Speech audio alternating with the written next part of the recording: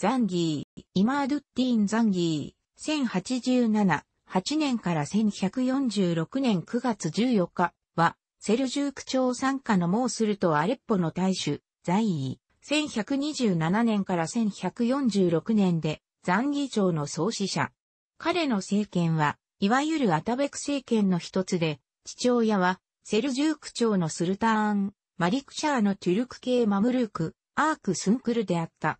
十字軍と組織的、継続的に戦ったムスリム最初の武将で、1144年に十字軍国家軍からエデッサ白領を奪い、第二回十字軍を呼び寄せることになった。ザンギーの父アーク・スンクルは、マリックシャーにより、シリア北部の大都市アレッポを任されていたが、反独立の動きを見せたため、1094年、ダマスクスにシリアセルジューク朝を建てたトゥーシュによって殺害された。ザンギーは北メソポタミア、ジャズイーラの都市、モースルのアタベク、領主、ケルボがカルブーカによって育てられた。1127年、バスラの司令官を務めていた頃、カリフのセルジューク朝スルタンに対する反乱が起こった際、彼はスルタンに呼ばれて活躍した。この反乱とは、1118年、バグダードで大セルジューク朝のスルタン・ムハンマド・タパルが亡くなった時、その死後の混乱に乗じ、同じ年にカリフを継いだばかりのあるムスタルシドが、往年のアッバース朝カリフの栄光の復活を、目指して、ムハンマド・タパルの子で後を継いだばかりのイラクにおける、セルジューク朝のスルタン・マフムード2世に対し徐々に圧迫を続け、ついに1127年を越した反乱であった。バグダードへ出兵したザンギーはマフムード2世を守って戦い、あるムスタル指導を破り、宮殿に幽閉させた。この功績によりモースルの大主に任命され、翌1128年当時モースルにつけ属すると、されていたアレッポに入場し、支配下に収め本拠とした。彼は、アレッポの、かつての王、シリアセルジューク朝のリドワーン王の娘で、以前のアタベク、領主イルガーズイ及びバラク、アルトゥク朝の未亡人だった女性と結婚しアタベク取り、アタベク政権ザンギー朝を打ち立てた。彼は、マフムード2世より、北メソポタミア、ジャズイーラとシリアにおける権威の保障を取り付け、大セルジューク朝に代わって、シリアの十字軍からの艦を進めることになる。一般に十字軍に対する反抗、ジハードを開始したイスラーム世界の英雄と見られがちだが、実際の彼の生涯はほとんどセルジューク朝の分派、分家政権で本家たる大セルジューク朝と対立したダマスクスの地方政権、ブーリー・アサとの争いに費やされた。1130年、彼はダマスクスのブーリー・アサ・アタベク、領主、ブーリに連合して十字軍諸侯と戦おうと呼びかけたが、これはザンギーの勢力を高める結果に終わった。彼は到着したブーリの軍を武装解除させるとブーリの息子や弟、サウィンジを人質に取り、浜の町を奪った。さらにホムスの町も奪おうとしその領主とも結んだが、陥落させることができなかったた、ザンギーは、ブーリの息子や、その他の人質を幽閉しているモースルに戻り、ダマスクスから5万ディナールの身代金を受け取って、彼らを釈放した。翌年、ザンギーは5万ディナールを返す代わりに、カリフのあるムスタルシドの元からダマスクスへ逃げた武将、デューバイスをブーリが差し出すことを要求した。カリフの使者がデューバイスを引き取りにダマスクスへ現れた時、ザンギーはデューバイスを殺した後だった。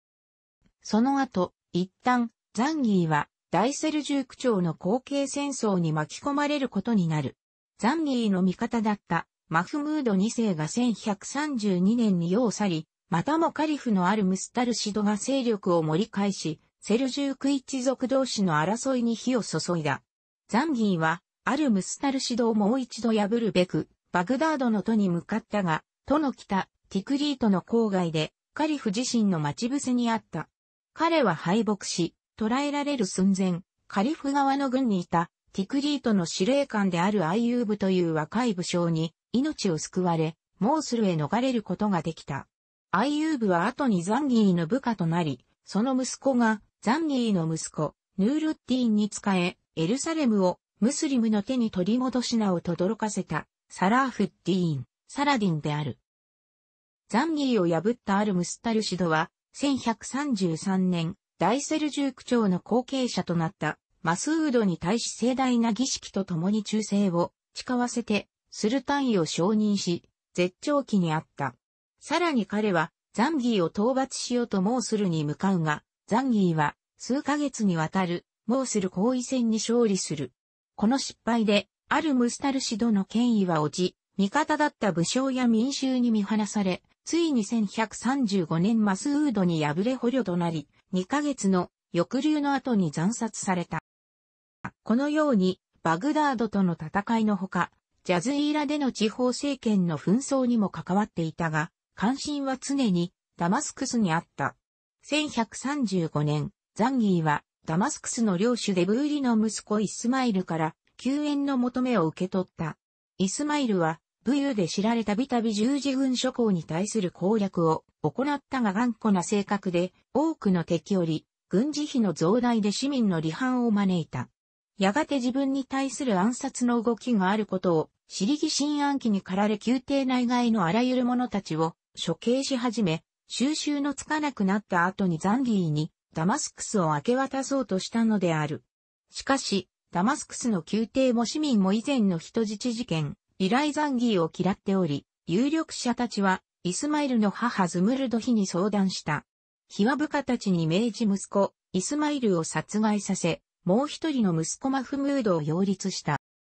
ザンギーはこれを知らず、ダマスクスに入城しようとしたが、すでに都市はザンギーを迎え撃つ準備をしていた。交渉は流れ、ダマスクス攻略が開始されるが、都市の実権を握った武将のムイーヌッティン・ウヌルの前に攻撃は困難と、悟りとりあえず休戦協定が結ばれた。同時に、バグダードのカリフからも、ダマスクスを離れよとの新書が届き、ザンギーはこれを無視したがダマスカスを諦めることになった。ダマスカスは、形式的にザンギーの総主権を認め、人質を送ったが、ザンギーは何も得るものがないままダマスクスを離れることにり、帰りに回ったほか十字軍諸侯の都市のいくつかを奪取するが、名誉は傷ついた。かつて彼を怒らせたホムスも奪おうとしたが、ホムスからの救援を受けウナルが入場、統治し、ザンギーはまたもウナルに屈することとなった。1137年、ザンギーは再びホムスを奪おうと大規模な軍を用意するが、領主ウヌルはすぐさま、ダマスクスと連絡を取り、エルサレム王国やトリポリ白国に救援を要請し、ザンギーを挟み撃ちにしようとした。ザンギーは、ウヌルと講和を結ぶと、直ちに十字軍側に向きを変え、この地方最強の十字軍の要塞であるバーリンを攻略することにした。エルサレムをフールクとトリポリ白国が直ちに軍を向かわせたが、これがザンギーの最初の西洋人との戦いになった。フールクたちの軍は撃破され、バーリンに籠城することとなった。ザンギーは要塞を包囲した末、フールク王と要塞の明け渡しと大金の支払いという有利な条件で講和しフールク王とその部下はエルサレムへ逃げ帰った。この時ザンギーは東ローマ帝国の皇帝ヨハネス2世コムネノスが南下していると聞いていたため、フールクやダマスクスとの休戦を早々に済ませなければならない状態だった。一旦は皇帝の目標はアンティオキア公国と聞いて安心したものの、攻囲戦の末アンティオキアが皇帝に屈従し、皇帝はさらにアンティオキア公レイモンド・ポワティエとエデッサ伯ジョスランを、従えてシリア攻撃を開始した。ザンギーは軍を連合軍に向けて動かし、またアナトリア、バグダードのスルタン、シリアやジャズイラのムスリムの将に死者や先導者を送り、全員応援に駆けつけるよう呼びかけた。また十字軍国家側と皇帝側を離反させる陰謀をめぐらし、その結果レーモンやジョスラン2世は皇帝が中東で勢力を増すのを恐れ非協力的になった。1138年4月、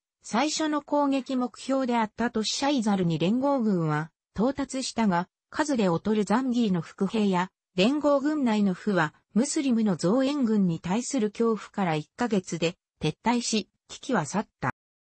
シャイザル包囲戦後の1138年5月末、ザンギーはダマスクスに協定締結のため訪れた。かつて息子、イスマイルを殺し、ザンギーを追い返したズムルドヒと結婚し、日は持参金として、ホムスをザンギーに送るという協定だった。3ヶ月後ホムスで二人は、中東諸国や東ローマからの死者らの前で結婚するが、ズムルドヒを説得して何とか彼女の息子のマフムードラ・ダマスクスを引き継ごうとするザンギーの努力はズムルドヒに交わされてしまい、ザンギーは結局この方法は諦めた。1139年7月、ズムルドヒからマフムードが暗殺されたことと暗殺者を罰してほしいとの頼りを受け取り、ザンギーはダマスクスに向かったが、ホムスからダマスクスに引き上げた後ダマスクスを質的に支配し、マフムードの後継者、ムハンマドの代理となっていた、ウヌルのもと、ダマスクスは守りを固め、再びエルサレム王国と連合した。ザンギーはダマスクスの重要拠点バールベックをまず攻撃したが、時間がかかり、その間ウヌルは友人の年代記作家ムンキズを通じ、エルサレム王国の保護下に入る協定を結んだ。曰く、ダマスカスはザンギーを遠ざける。危急の際は、ダマスカスとエルサレムの軍は統合される。ダマスカスは、エルサレムに戦費を払い、ザンギー支配下の砦をエルサレムと共に攻める。ダマスカスは、名家の指定を人質として差し出すなどである。1140年4月ダマスカスに迫ったザンギーは、エルサレム王国の救援の前に挟み撃ちを恐れて、攻撃を諦め引き返した。1140年、ダマスカスエルサレム連合軍は、ザンギーの砦、バニヤースを包囲し、ザンギーも駆けつけたがすぐに放棄した。ダマスクスはこれをエルサレムに引き渡し、ウヌルはエルサレムを公式訪問するなど交流を深めた。しばらく、これら諸国に戦争はなかったが、ザンギーは北方へ遠征し、アッシーブやアルメニア人の要塞、ヒザーンを占領した。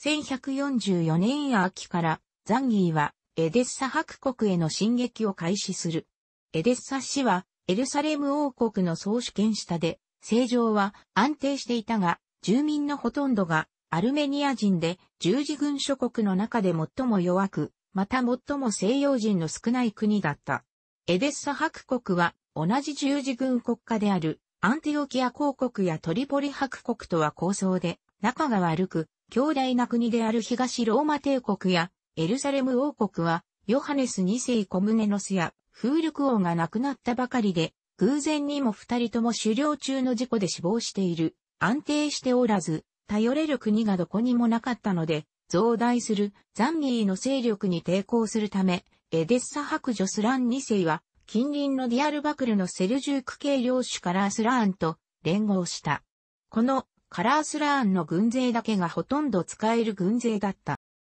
ザンギーは1144年の秋、ジョスラン2世が全軍と共にカラースラーンと合流し、西のホーユフラテス川のほとり、テルバーシルまで略奪戦に出かけたと聞くやすぐさま、エデッサ包囲戦を開けし、町の北の地の門のそばに陣を張った。町は庶民ばかりで、軍隊はおらず、司教たちが指揮を取ることになった。司教らはキリスト教徒のアルメニア人は、ザンギーに降伏しないだろうと期待していた。エデッサは、難攻不落の城塞であり市民は、防衛に奮戦したが、誰も甲状戦の経験がなく城塞の守り方や、守るべき要所を知らず、公兵が城壁下にトンネルを掘り始めてもなす術がなかった。度重なる休戦協定は、エデッサ側の拒否で失敗に終わり、ザンギーは町の北の城壁の土台を取り除き、材木で支えて、油や硫黄を一杯に詰め、12月24日、ついに火を放った。油は燃え上がり城壁は崩れ落ち、ザンギーの軍が侵入して城郭に逃げられなかった人々を虐殺した。城郭は被災の過失から固く閉まっており、殺到した群衆がパニックに陥り、死災も含む5000人以上が圧死した。ザンギーは殺戮の中止命令を出して、キリスト教徒の代表と話し合い、12月26日外は、ザンギーに明け渡された。アルメニア人やアラブ人のキリスト教徒は解放されたが、西洋人に対する扱いは過酷だった。持っていた財宝は没収され、貴族や司祭たちは衣服を剥がれて、鎖につながれ、アレッポへと送られ、職人たちは囚人として各職種別に働かされ、残り100人ほどは処刑された。ジョスラン2世は、この魔道区、テルバーシルに留まったままであった。この事件は十字軍国家を震え上がらせ、エルサレム王国のフールク王の未亡人メリザンドは、ヨーロッパに特使を送りその3害と救援要請を訴えた。これが第2回十字軍を招くことになる。また、ムスリム世界は初めての勝利らしい勝利に熱狂し、カリフはありとあらゆるビジレイクに満ちた継承を彼に与えた。後のムスリムの年代記作からはこれを十字軍国家に対するジハードの始まりと述べている。しかしザンギーはエデッサ伯国の残る東の方の領土やアンティオキア公国など十字軍国家の駆逐を開始するかと思いきや、翌1145年、またもバールベクに戻り、ダマスクス工場戦の準備を始めた。しかしジョスラン2世の残存勢力がエデッサの奪回を狙っていると聞くと再び、エデッサに戻り協力者たちを処刑し、代わりにユダヤ人たちを居住させた。また、モースルの正常不安やジャズイーラの領主たちに反抗の意志があるなど、しばらくは北に留まらねばならない状態だった。